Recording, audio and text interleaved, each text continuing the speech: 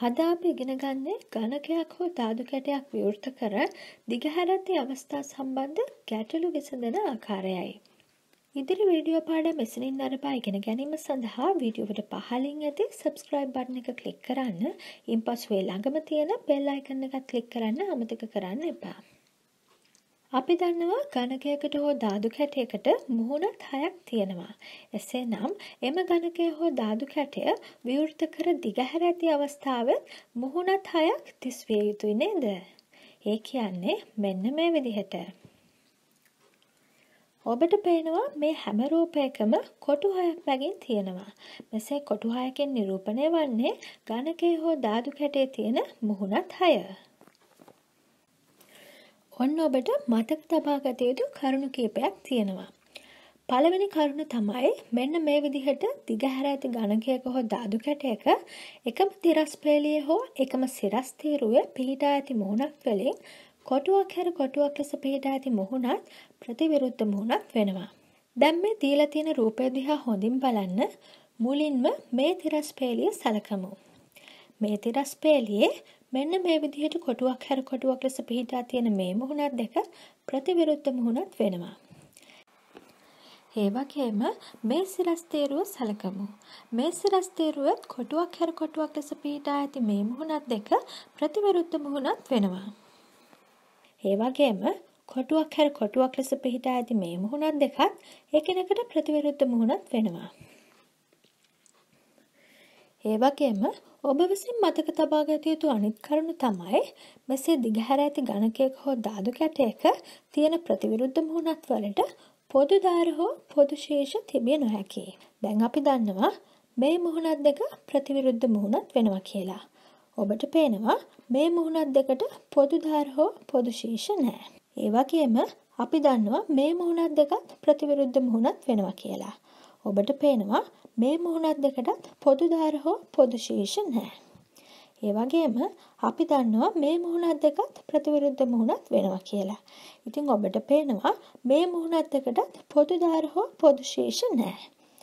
මෙන්න මේ කරුණු දෙක තමයි ඔබ විසින් මතක තබා ගත යුත්තේ. දැන් අපි පළවෙනි ගැටලුව විසඳන ආකාරය බලමු. මුහුණත් ABCDEF ලෙස නම් කරන ලද ගණකයක් විවෘත කර දිගහැර ඇති අවස්ථාව පහත රූපයේ දැක්වේ. ඒට විරුද්ධ පැත්තේ ඇති මුහුණත කුමක්ද? Bට විරුද්ධ පැත්තේ ඇති මුහුණත කුමක්ද? Cට විරුද්ධ පැත්තේ ඇති මුහුණත කුමක්ද? අපි බලමු මේක විසඳන්නේ කොහොමද කියලා. අපි මුලින්ම මේ සිරස් තීරුව සලකමු. ඉතින් ඔබ දන්නවා එකම සිරස් තීරුවේ පිහිටා ඇති මුහුණත් වලින් කොටුවක් හැර කොටුවක් ලෙස පිහිටන මුහුණත් ප්‍රතිවිරුද්ධ මුහුණත් වෙනවා කියලා. මේ අනුව ඔබට පේනවා B සහ D ප්‍රතිවිරුද්ධ මුහුණත් වෙනවා. ඒ වගේම A සහ F ප්‍රතිවිරුද්ධ මුහුණත් වෙනවා.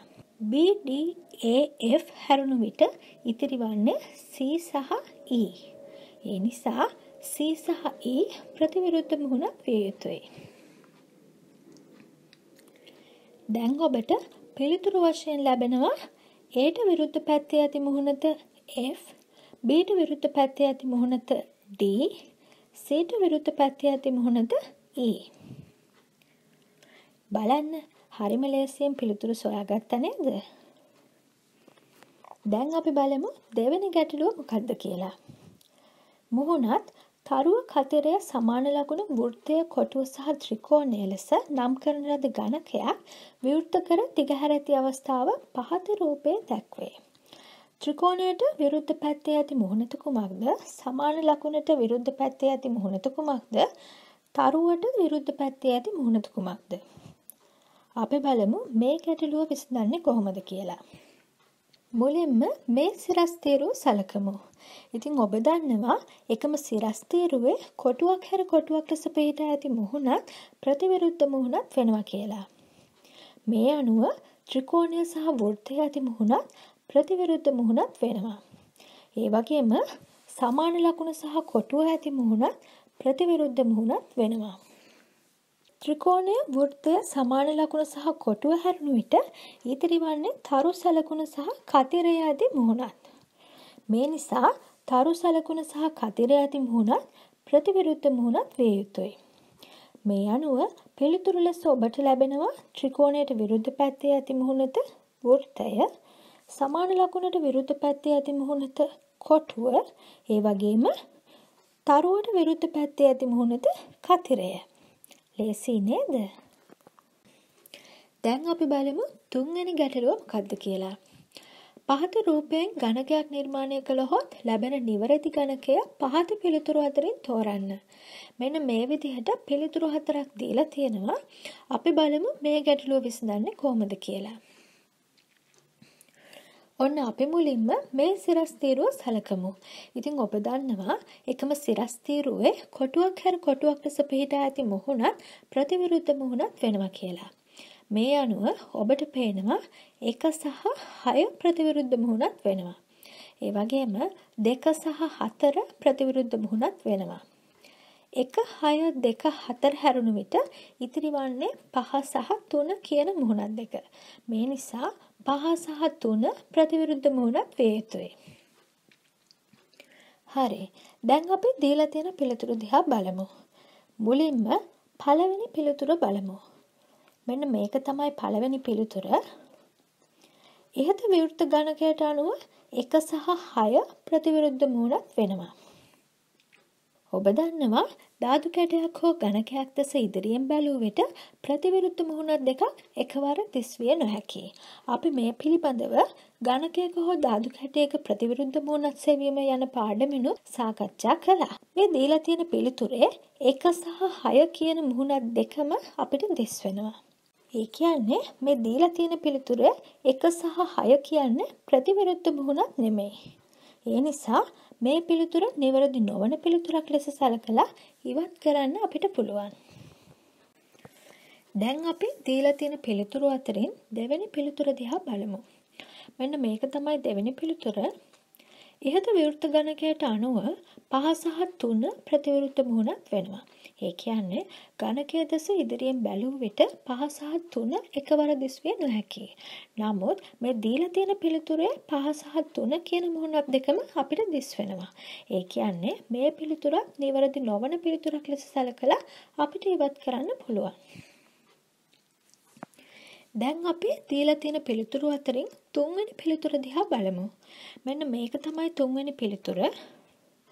ඉහත විවෘත ගණකයට අනුව අපි දන්නවා දෙක සහ හතර ප්‍රතිවිරුද්ධ මුහුණක් වෙනවා කියලා.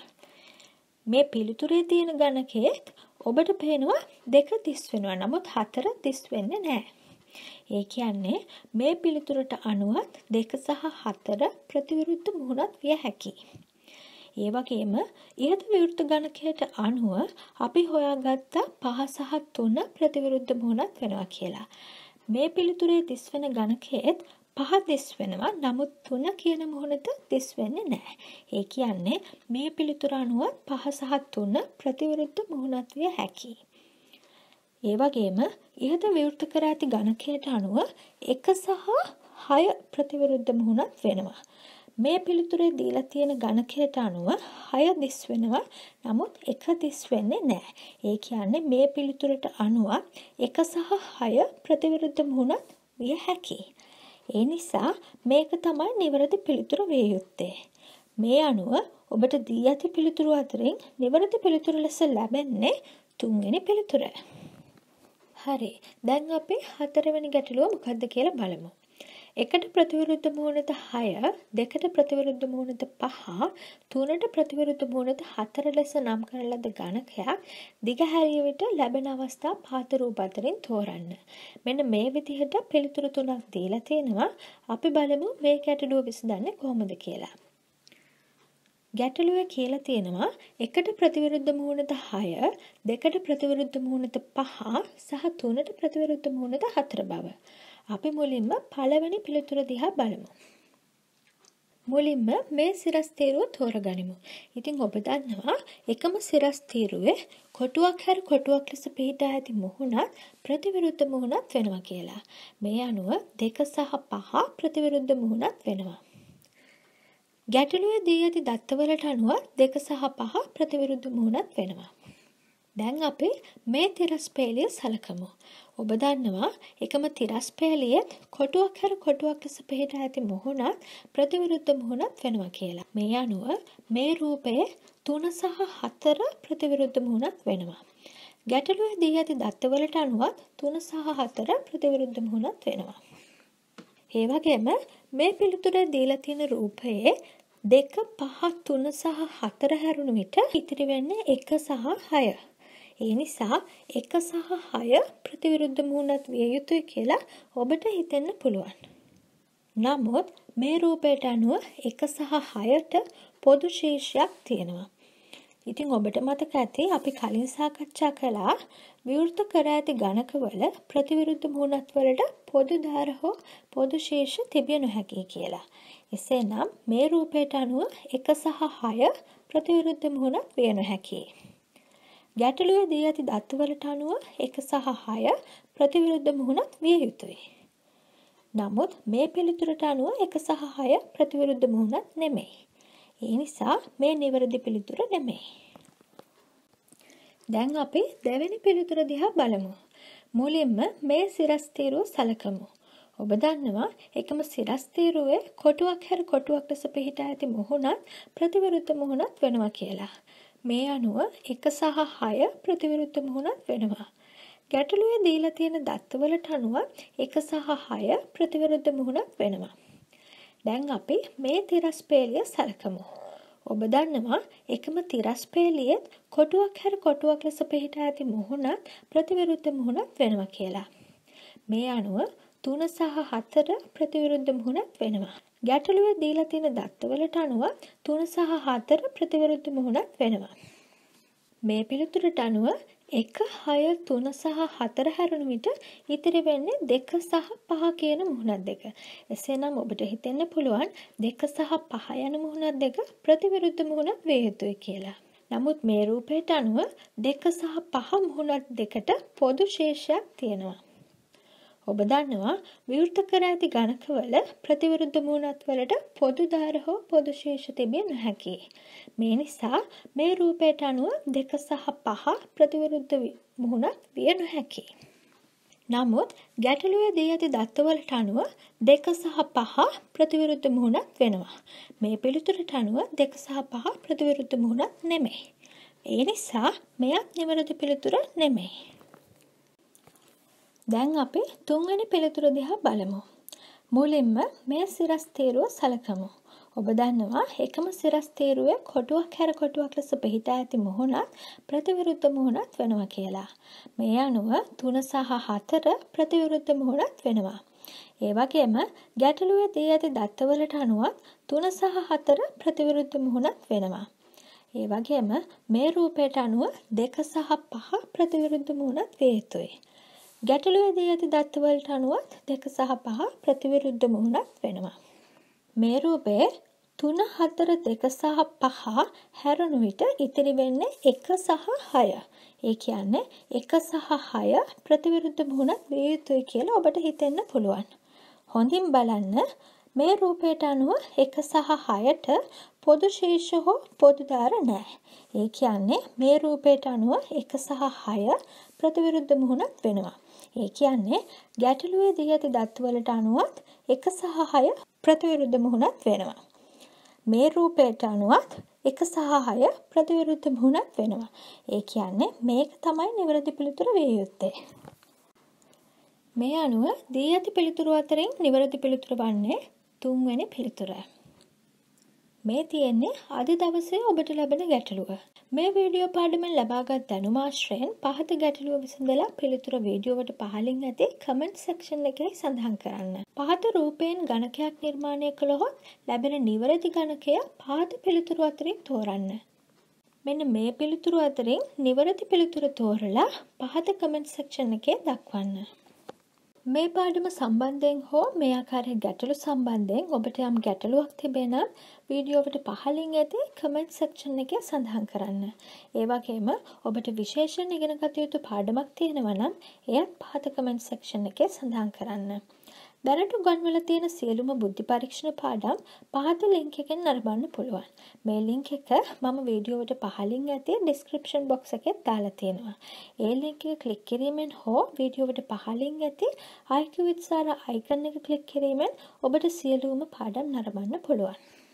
මම මේ පාඩම් IQ with Sara Facebook පිටුවේ දාලා තියෙනවා.